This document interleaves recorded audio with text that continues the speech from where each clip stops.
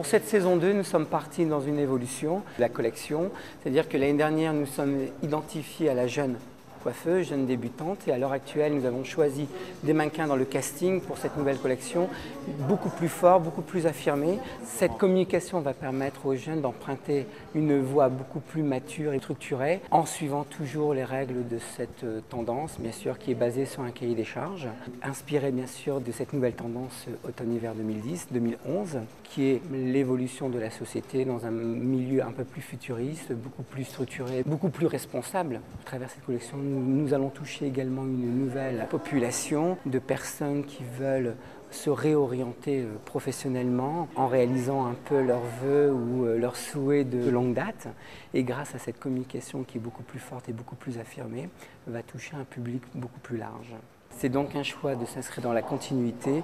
Euh, dans chaque saison, nous apporterons une nouveauté qui va élargir un peu l'horizon de Pigé Création.